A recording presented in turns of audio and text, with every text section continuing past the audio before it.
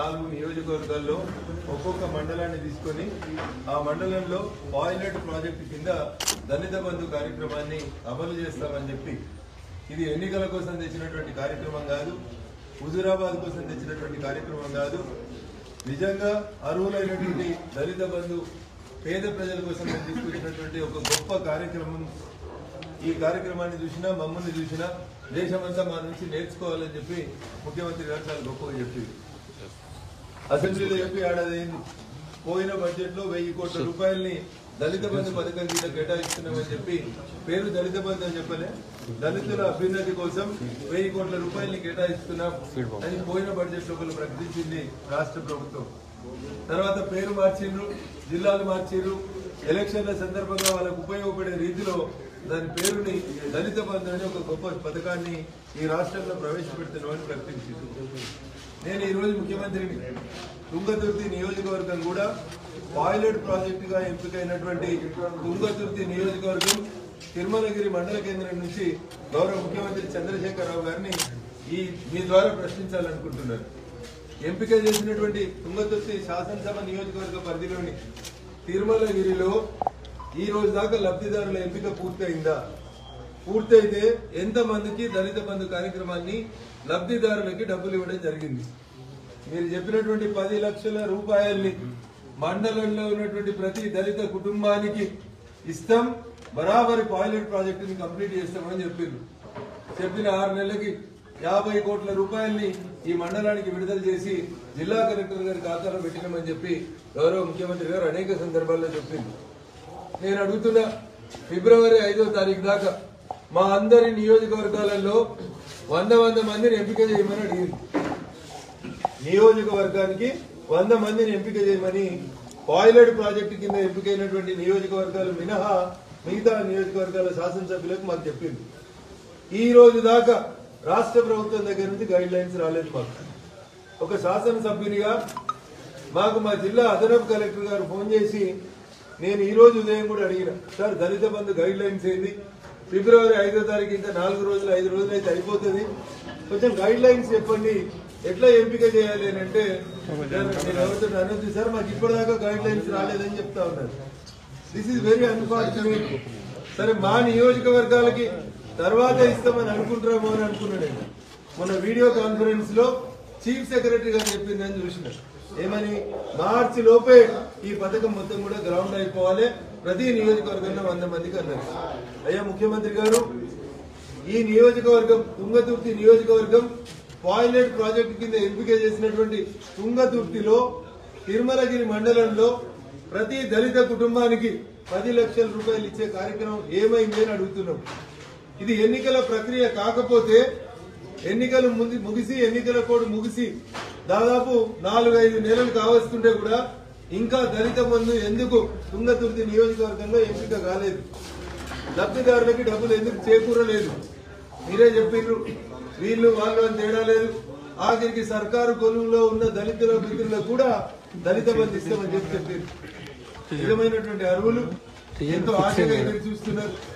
ఒక మంచి పథకం వచ్చినప్పుడు ప్రజలందరికీ దాని ద్వారా పార్టీలు జెండాలు ఎజెండాలు పక్కన పెట్టి నిజంగా దళిత మిత్రులకి దళిత బంధుని అమలు చేయాలని భారతీయ జనతా పార్టీ డిమాండ్ చేస్తా ఉంది. చాలా సందర్భాల్లో అన్నారు బీజేపీలకు ఇష్టం లేదు దళిత బంధు తెచ్చుడని సార్ నేను తుంగతుర్తిగా మిమ్మల్ని అడుగుతున్నా. దళిత బంధు ఈ రాష్ట్రంలో ఉన్న దళిత కుటుంబాలన్నింటికి ఎప్పుడు ఇస్తారో చెప్పురు సార్ అని అడుగుతున్నా. అది పూర్తయిన రోజు దళిత బంధు ఈ రాష్ట్రంలో ఉన్న ప్రతి దళిత కుటుంబానికి ఇచ్చే ప్రాసెస్ పూర్తయిన రోజు మీ అందరి సాక్షిగా నేనే వెళ్ళి ముఖ్యమంత్రి గారికి కాలువ వేసి అభినందిస్తానని చెప్తున్నాను. కానీ దీన్ని ఎన్నికల కోసం వాడుకొని దళిత కుటుంబాలని ఓటు బ్యాంకుగా మీరు మలుచుకోవాలనుకొని వంచిస్తే వచ్చే ఎన్నికలు ఎప్పుడు వచ్చినా వారి ఆగ్రహ జ్వాలల్లో వారి కోపాగ్నిలో మీరు మాడి మసైపోతారని చెప్పి కూడా ఈ సందర్భంగా గౌరవ ముఖ్యమంత్రి గారికి తెలియజేస్తా ఉన్నారు ఇప్పుడు బడ్జెట్ వస్తుంది. కేంద్ర బడ్జెట్ రేపు మాపో ఒకటో తారీఖున ప్రవేశపెట్టబోతున్నారు. రాష్ట్ర బడ్జెట్ సమావేశాలకు ఏ రకంగా డేట్ లేదు. ఫిబ్రవరిలో పెడతారా తెలియదు మార్చిలో పెడతారా తెలియదు రోజు ఒక రోజు పెడతారా మూడు రోజులు పెడతారా ఐదు రోజులు పెడతారా తెలియదు ప్లానింగ్ ఉండేది. దూరదృష్టి ఉండేది. మాట్లాడమంటే మాత్రం అన్నీ చెప్పేసి వెళ్ళిపోతాం. ఆచరణలోకి వచ్చేసరికి మాత్రం బిగ్ జీరో. పేద గుండు సున్నా తప్ప ఆచరణలో లేదు. మా నియోజకవర్గాలలో ఎంపికను ఇప్పుడు మొదలు పెడుతున్న మీరు పాయిలెట్ ప్రాజెక్టు కింద తిరుమలగిరి మండలంలో ఎందుకు ఇవ్వలేదు? ఇది సమాధానం చెప్పాల్సినటువంటి అవసరం ఉంది. ఆర్థిక మంత్రి గారు చెప్తారా? ముఖ్యమంత్రి గారు చెప్తారా? దళిత మిత్రులందరికీ కూడా మీరు సమాధానం చెప్పాలని చెప్పి ఈ సందర్భంగా డిమాండ్ చేస్తా ఉన్నాం. భారతీయ జనతా పార్టీ మూల సిద్ధాంతమే Antyodaya. Poorest of the poor should be served first అని కోరుకునే వాళ్ళల్లో భారతీయ జనతా పార్టీ ముందుంటుంది. ఇక్కడ పూరెస్ట్ ఆఫ్ ద పూర్ ఎవరున్నారు ఈ సమాజంలో అంటే దళితులు గిరిజనులు ఉన్నారు. వాళ్ళకి మీరు ఇస్తా అంటే మేము స్వాగతించినాం. హుజురాబాద్ కే ఇచ్చి ఆపద్దు అని చెప్పినాం. లేదా మీరు పోయిన వాసాల మరికే ఇచ్చి ఆపద్దు సార్. అన్ని ఊర్లను కూడా ఎంపిక ప్రాసెస్ని త్వరగా పూర్తి చేయండి అన్నాం. ఇది పూర్తిగా మీరు ఎన్నికల కోసమే వాడుకున్నారని చెప్పడానికి ఇప్పుడు మీరు ఇప్పటిదాకా ఫిబ్రవరి ఐదు దాకా ఆగి ఇప్పుడు ఏదో గైడ్ లైన్స్ ఇయ్యక ఆగమాగం ఇచ్చి ఎవరికి ఇద్దామనుకుంటున్నారు ఎవరిని వంచిద్దామనుకుంటున్నారు. ఉదాహరణకి తిరుమలగిరిని తీసుకున్నా మా దుబ్బాకని తీసుకున్నా ఒక మున్సిపాలిటీతో కలిపితే తొమ్మిది తొమ్మిది ఉన్నాయి మండల కేంద్రాలతో లెక్కేసుకుంటే మండలాలు మున్సిపాలిటీ కలుపుకుంటే నాట్ రాంగ్ తుంగతుర్తి కూడా తొమ్మిది యూనిట్లు ఉంది.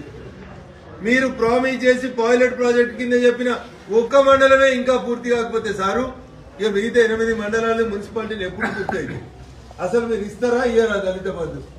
ఈసారి ఫిబ్రవరి ఐదు లోపల గైడ్ లైన్స్ లేకుండా మేము అభ్యర్థుల ఎంపిక ఎంపికను ఎట్లా చేయాలనేది ముఖ్యమంత్రి గారు తెలియజేయాలని చెప్పి డిమాండ్ చేస్తా ఉన్నాం ఇది ఒక పక్క ఉంటే పొద్దున్న లేస్తే రాజకీయాలు టీఆర్ఎస్ నాయకులు చేసేటువంటి అనేక రకాలైనటువంటి వివిధ పనులని రాష్ట్ర ప్రభుత్వం చూసి చూడనట్టు పోతా ఉంది. ఇది దురదృష్టకరం. చాలా సందర్భాల్లో చెప్పినాం ఈ రాష్ట్ర ప్రభుత్వానికి ఆదాయం తెచ్చేటువంటి అనేక వనరులలో ఇసుక ఒక వనరు. మూసీ నది పరివాహక ప్రాంతం ఉన్నటువంటి ఈ నియోజకవర్గంలో వాగులు ఎట్లున్నాయి? వంకలు ఎట్లున్నాయి? రోజు ఎంత ఇసుక అక్రమ రవాణా అవుతుందో ఒకసారి జిల్లా కలెక్టర్ అని చెప్పాలి. లేదా మైనింగ్ నుంచి ఇసుక నుంచి ఈ జిల్లాకు వచ్చినటువంటి ప్రభుత్వ ఆదాయం ఎంతనో చెప్పాలి. ఇవి చెప్పరు. టీఆర్ఎస్ పార్టీకి అండువ వేసుకుంటే మీ ట్రాక్టర్ ఫ్రీగా పంపిస్తాం. టీఆర్ఎస్ పార్టీలో జాయిన్ అయితే మీ ఇసుక ట్రాక్టర్లు ఆపబడవు దిస్ ఈజ్ వెరీ అన్ఫార్చునేట్ చట్టం ముందు అందరూ సమానమే అని చెప్పి భారత రాజ్యాంగం మీద ప్రమాణం చేసినటువంటి గౌరవ పెద్దలారా ఈ దుష్ట నీతి ఈ దుర్నీతిని వదిలిపెట్టండి. ప్రజలందరినీ కూడా సమానంగా చూపని చెప్పి ఈ సందర్భంగా నేను వారికి విజ్ఞప్తి చేస్తా ఉన్నాను. తుంగతుర్తి నియోజకవర్గంలో ఒక విద్యావంతుడు చదువుకున్నవాడు యూనివర్సిటీ నుంచి వచ్చినటువంటి ఒక మిత్రుడు ఎమ్మెల్యే అయితే మాకు నియోజకవర్గంలో తొందరగా దళిత బంధు వస్తుందని ప్రజలు ఆశపడ్డారు. బాగా చదువుకున్నవారు ఇక్కడ ఎమ్మెల్యే ఉన్నారు. మరి ఏమైంది దళిత బంధు? ఎందుకు అడగలేకపోతున్నారు ఎమ్మెల్యే గారు? మీరు పాయిలెట్ ప్రాజెక్ట్ కింద ఎంపిక చేసినటువంటి ఈ నియోజకవర్గంలోని ఒక మండలానికి ఎందుకు దళిత బంధు ఇవ్వలేకపోతున్నారో గౌరవ శాసనసభ్యులు కూడా చెప్తే బాగుంటుందని ఈ సందర్భంగా నేను వారిని డిమాండ్ చేస్తా ఉన్నాను. ఒక్క నియోజకవర్గంలో గొప్పగా చెప్పారు ముఖ్యమంత్రి గారు ఒక మా టీఆర్ఎస్ ఎమ్మెల్యేల నియోజకవర్గాలే కాదు అటు ఖమ్మం పోతే మదిర నియోజకవర్గంలో కాంగ్రెస్ పార్టీ ఫ్లోర్ లీడర్ బట్టి విక్రమార్క గారి నియోజకవర్గంలోని ఒక మండలంలో కూడా ఇస్తా అన్నారు. ముఖ్యమంత్రి గారి మాటలు వినడానికి సొంపుగా ఉంటాయి. మాటలు చేతలు మాటలు ఒక రకంగా ఉంటాయి చేతలు ఒక రకంగా ఉంటాయి. మాటలు కోటలు దాటినాయి. శాసనసభ దాటినాయి. తుంగతుర్తి దాకా వచ్చినాయి. కానీ మా తుంగతుర్తిలో ఉన్నటువంటి తిరుమలగిరి మండలంలో దళిత కుటుంబాల ఇళ్ళకు దళిత బంధు ఎందుకు రాలేదో చెప్పాలని చెప్పి గౌరవ శాసనసభ్యుల్ని ముఖ్యమంత్రి గారిని భారతీయ జనతా పార్టీ పక్షాన డిమాండ్ చేస్తూ చట్టం ముందు అందరినీ సమానంగా చూడండి.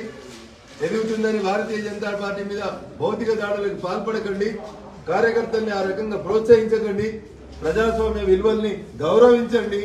ప్రజాస్వామ్య దేశంలో ఏ సమస్యనైనా చర్చలతోనే పరిష్కరించుకోవచ్చు కాబట్టి దయచేసి భౌతిక దాడుల సంస్కృతిని మానుకోవాలని టీఆర్ఎస్ పార్టీకి నేను ఈ సందర్భంగా హితవు పలుకుతా